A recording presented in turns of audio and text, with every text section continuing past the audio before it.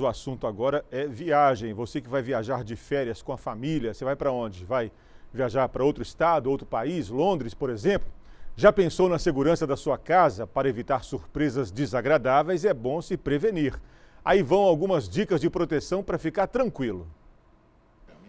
Mesmo que sejam poucos dias, deixar a casa em segurança é qualidade de vida durante as férias escolares.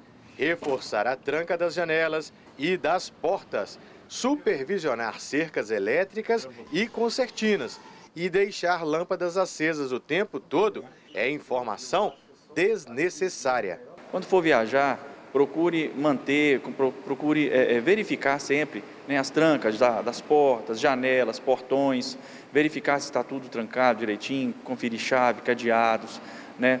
É, não, não, não incorrer naquela, naquele pensamento de, ah, vou deixar algumas luzes acesas da casa para parecer que tem gente, porque às vezes o cara que está monitorando, né, o autor, um possível autor está monitorando esse imóvel, ele vai perceber que a, luz nunca apaga, ela vai estar tá acesa de dia, vai estar tá acesa de noite, ele vai perceber que não tem ninguém ali. Cão bravo. Há muito tempo que só essa plaquinha bastava para manter pessoas mal intencionadas longe do seu patrimônio. Hoje tem que ter investimento. Investir no monitoramento remoto por meio do celular foi a opção desta empresária. De malas prontas para as praias do Espírito Santo, Mila apostou na tecnologia para não ter dores de cabeça ou surpresas desagradáveis. Olha, eu já morei em prédio, inclusive já teve imprevisto em prédio é, ou vizinhança, né?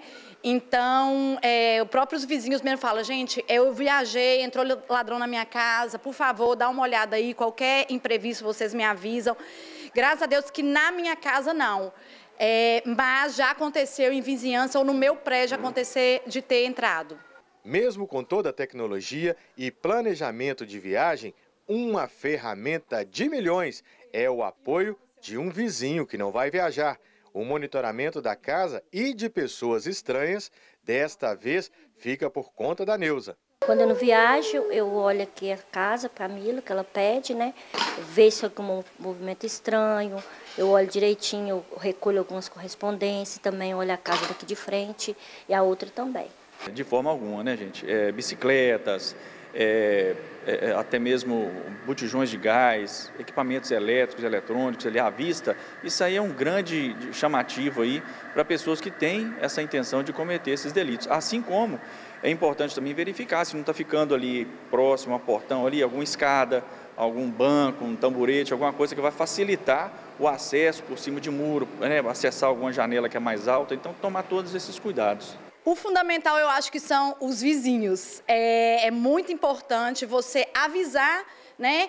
Porque o vizinho, ele está ali no seu dia a dia, ele vê a movimentação da sua casa. Então, você chegar e avisar, olha, eu estou viajando, não vai ter movimento na minha casa, ou um parente meu que vai aí, você talvez já conheça o parente. Então, qualquer é, movimento diferente que você vê, você pode me avisar. Eu acho que é o fundamental você estar tá avisando para os seus vizinhos. Se o ditado popular revela que a ocasião faz o ladrão, a Polícia Militar traz algumas dicas valiosas. Uma das principais dicas que a gente, que a gente passa é justamente a questão da rede de vizinhos. Né? Se você mora na, na sua rua aí, é, tem contato próximo com seus vizinhos, tem pessoas de confiança, crie uma rede, mesmo que seja pequena, com três, quatro vizinhos ali próximos, e peça a eles para poder fazer esse monitoramento para você, né? É, peça a eles para poder verificar a sua casa com, com com certa regularidade, se está tudo bem, verificar se o portão está trancado direitinho, se não está tendo movimentação é, é, nas mediações da residência, pessoas suspeitas, que se tiver alguma pessoa suspeita, que é para acionar o 190, ligar para a polícia. E lembre-se de desconectar as tomadas dos aparelhos eletrônicos e uma boa viagem, ou melhor ainda, um bom retorno ao lar. E importante também, se for uma pessoa de confiança, pode até deixar a chave do, do portão para poder recolher correspondências que ficam soltas ali no chão, jornais e tudo, revistas, que às vezes um, um, um, propenso autor ali vê aquela, aquela situação ali e entende como que não tem ninguém ali recolhendo as, as, as, as, as correspondências, então não vai ter ninguém em casa. Então ele pode aproveitar esse momento aí de, de entender que não tem ninguém em casa para cometer algum delito.